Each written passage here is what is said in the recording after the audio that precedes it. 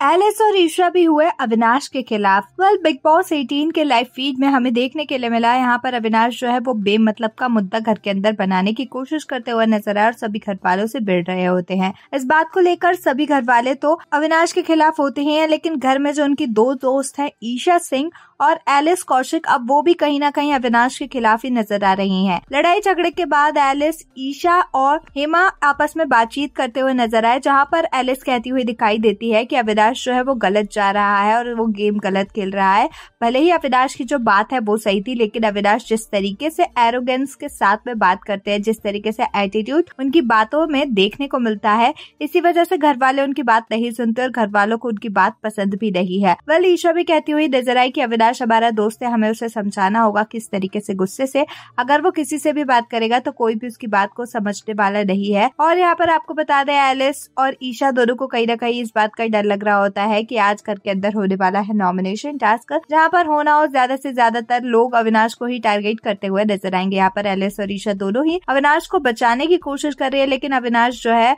वो हर किसी से जानबूझकर मुद्दा बनाकर भिड़ने की कोशिश कर रहे और होना हो, ये उन पर जल्द ही भारी पड़ता हुआ नज़र आएगा। बोला आपका आपका एलिस, कौशिक और ईश्वर सिंह के अविनाश के लिए कई इन बातों पर क्या कुछ है कहना हमें कमेंट्स में ज़रूर बताएँ। ऐसी ही अपडेट्स के लिए हमारे चैनल को सब्सक्राइब करें।